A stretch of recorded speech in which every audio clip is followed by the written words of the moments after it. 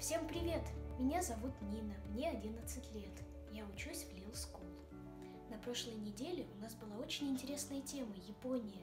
И сегодня я покажу, как нарисовать очень красивое традиционное японское украшение на День мальчиков – карпа каинабори. Начинаем рисовать. Каинабори – это такие особенные флажки, которые подвешиваются к палочкам и указывают направление ветра.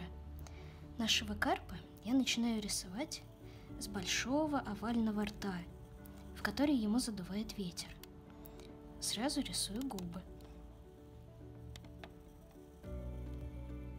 Вот так. Теперь я рисую карпу тело. Оно длинное и вытянутое. Его немного колышет ветер. Вот такое.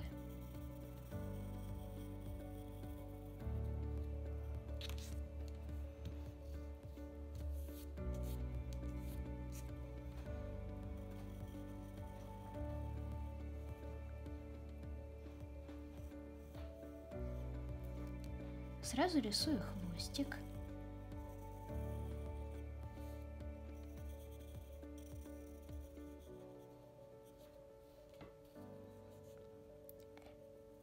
И отвожу линию, которая отделяет тело карпа от его головы.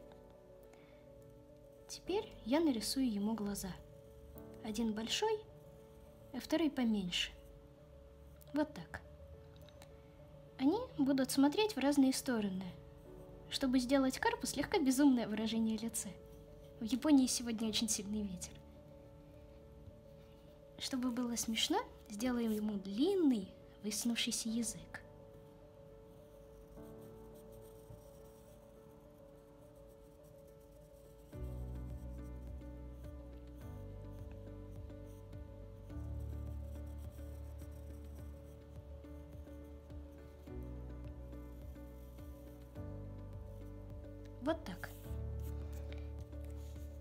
Теперь рисуем плавнички. Сначала спинной. Он немножко похож на гребень у дракона.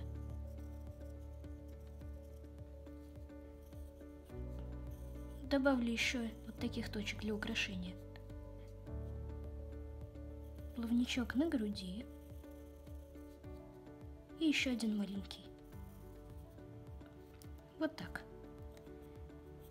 Теперь я намечу узоры на спине у нашего карпа.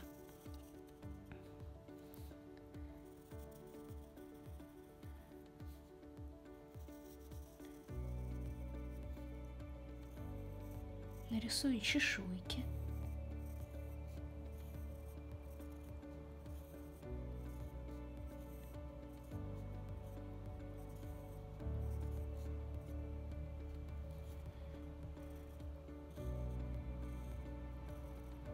Ромбики.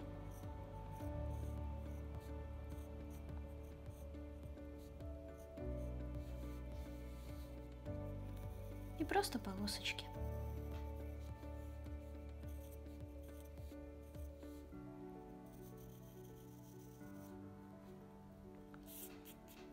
Вот так. Теперь я нарисую карпу палочку, которой он будет крепиться.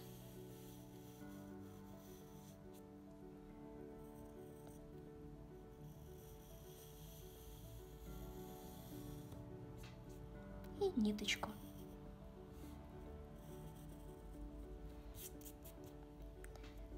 Вот так. Карандашный рисунок мы закончили. Теперь мы берем фломастеры. У японских карпов каинабори есть своя расцветка. Черные и темно-синие тона – это цвета карпов мужчин. Теплые, оранжевые, красные и розовые тона – это цвета карпов женщин, а разноцветные, зеленые, фиолетовые – это цвета карпов детишек. Можно нарисовать целую семейку. Я начинаю с голубого. Раскрашиваю карпу губы. Можно сделать ему совершенно любую, даже самую безумную расцветку.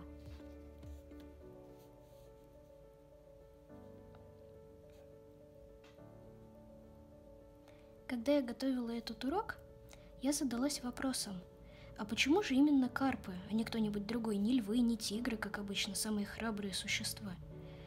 Оказывается, по легенде, раз в год все японские карпы устремляются вверх по течению реки. Они плывут и плывут, а вверх всегда плыть очень трудно, потому что очень сильное течение. И до самого-самого верха доплывают только самые упорные карпы. Их там ждет награда. Все эти карпы превращаются в настоящих японских драконов. Поэтому эти карпы вешаются на День мальчиков, чтобы послужить им примером, чтобы мальчики росли такими же сильными и уверенными в себе –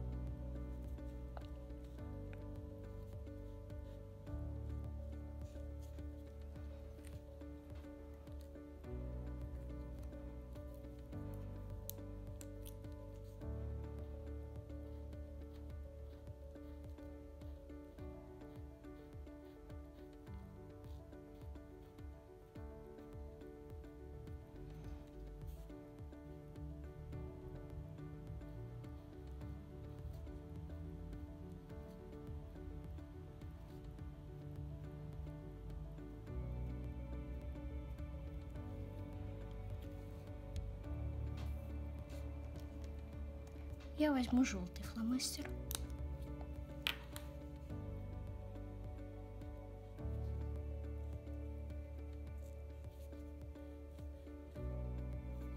Раскрашиваем очень аккуратно и не торопимся.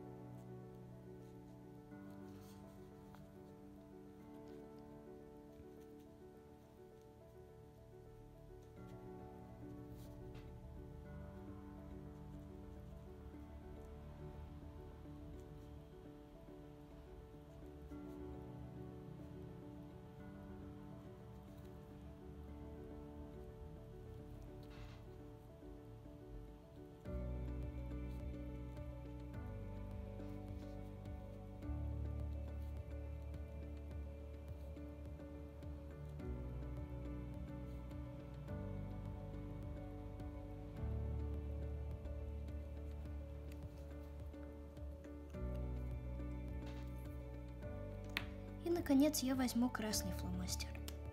Он у меня будет только в одном месте. Это язык нашего карпа.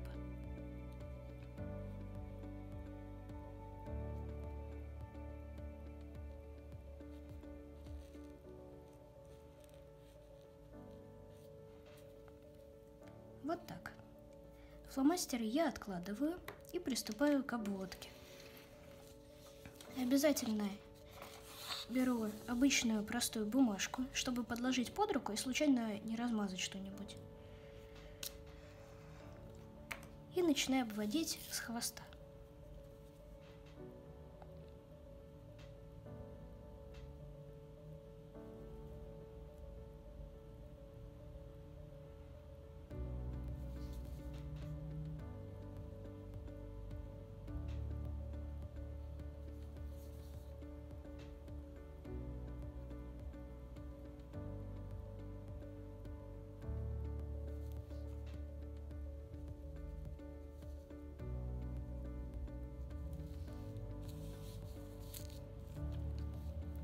Теперь я сразу закрашу черным спинной плавник.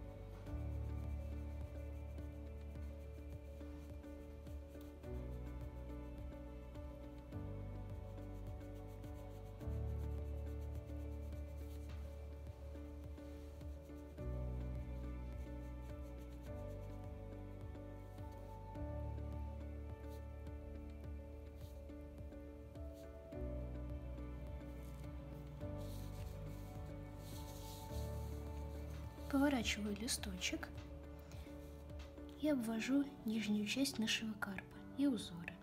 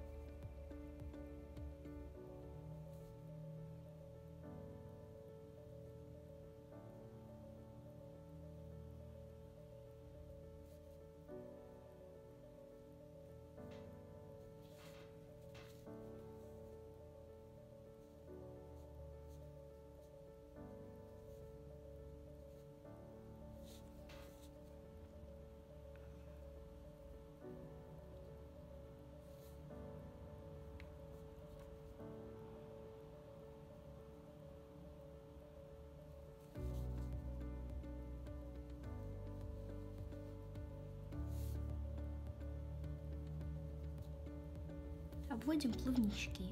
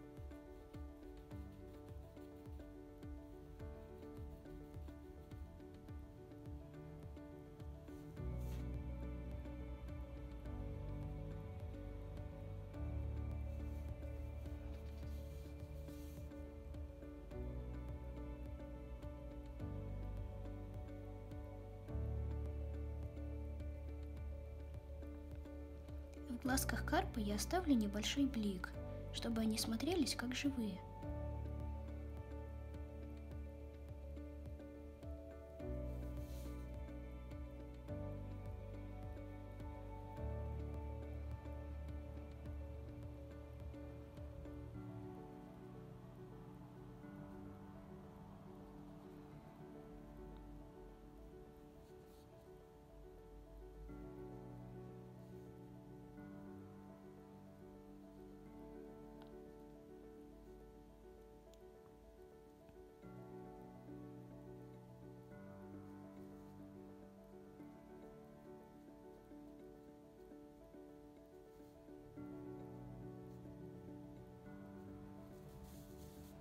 Обводим веревочку, которой привязан карп, и палочку.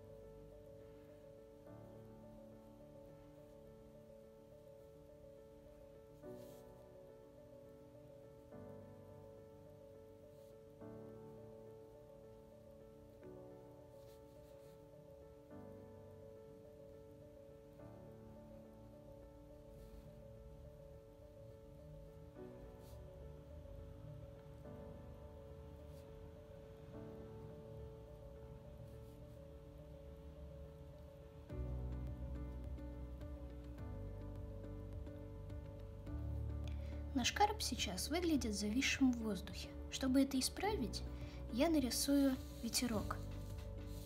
Вот такие линии.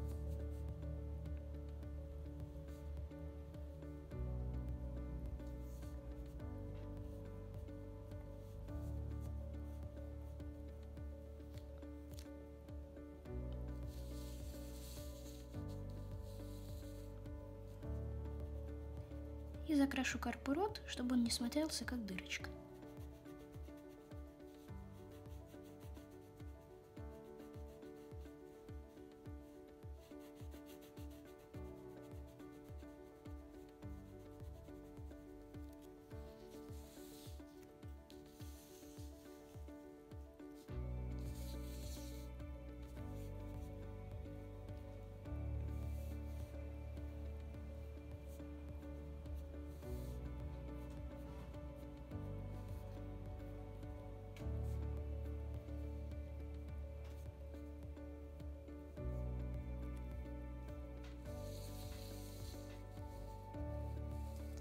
Такая смешная картинка у нас с вами получилась.